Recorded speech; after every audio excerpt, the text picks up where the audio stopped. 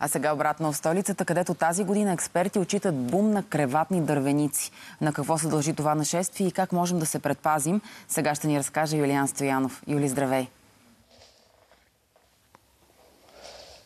Здравей, Марина, добро утро. Тук съм с Рая, която е обучена да надушва дървениците, обаче в момента повече целувки раздава, защото е бебенци и все още се обучава. Връщам я на нейния собственик, заповядай. Но пък ще си поговорим с Симеон, който е ловец на дървеници и всякакви гадини. Добро утро. Добро утро. Кажи ни сега, на какво се дължи този бум, който наблюдавате от известно време в София на дървеници? Откъде дойдоха? Лови не само в София, в всички по-големи градове има увеличение на популацията на дървеници. Причината в това се крие в глобализацията и урбанизацията. Хората пътуват повече, имат повече възможност да посещават различни места и за жалост по този начин носят къщи дървеници. В Европа разбрахме около Олимпийските игри започна да се говори за дървеници. Сега показваме как са чисти професионално. А, олимпийски дървеници ли имаме в София? За жалост или за радост олимпийски дървеници няма и те не участват в такива дисциплини. Те са факт навсякъде, както в Париж, така и във всеки голям мегаполис в Западна Европа. София вече по никакъв начин не отстъпва за жалост на тях. И навсякъде може да привлечем такива градини. Те не подбират дали е луксозен хотел или с по-малко звезди. За какво трябва да внимаваме, когато спим някъде на чуждо място? Абсолютно не подбират дали е 5-звезден хотел или стандартен хостел. Дървеници може да има. Разбира се, на първо място е превенцията и затова големите вериги хотели и въобще хотелерите и собственици на подобни обекти следва да ползват професионални услуги. Сами може ли да се справим? Не, категорично сами не можем да се справим.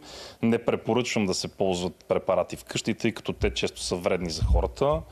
Много по-добре е да се ползват услугите на обучени професионалисти и Рая най-вече, защото тя е абсолютен професионалист, мога да го потвърдя. Как я обучихте тя да може да ги надушва тези малки гадини? Абсолютно. Рая всъщност е обучавана в чужбина. Това е тенденция от години в Западна Европа. Рая е едно от първите две кучета в България, които успяват да се справят с откриването на дървеници, тъй като те имат специфична миризма.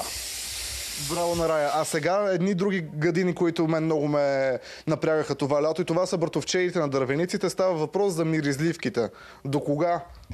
Надявам се до застудяването. Миналата година също имаше така по-увеличени популации на този вредител, но с идването на по-студеното време и по-низките температури очакваме в рамките на няколко седмици проблемът да приключи. За миризливки знаем обаче за дървеници. Как може да знаем, че имаме в дома ни? Най-честите белези са пъпки и белези по кожата вследствие на охапванията от тях. Те често са с червен връх. Другият най-срещан белек е следи от техните изпражнения, които се намират често по чершафите и по матраците на леглата, на които спим. Това са малки, черни, тъмно кафяви точки на практика нашата кръв.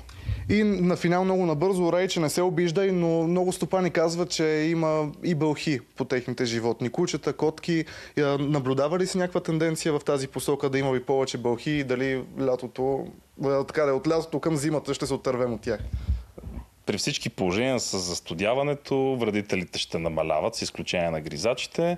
Хубавото е, че се дочува, че столична община е предвидила повече на брой обработки за следващата година на зелените площи, което в крайна сметка ще облагодетелства всички нас като граждани. Много ви благодаря. Момчета, на вас приятна работа. Марина към теб.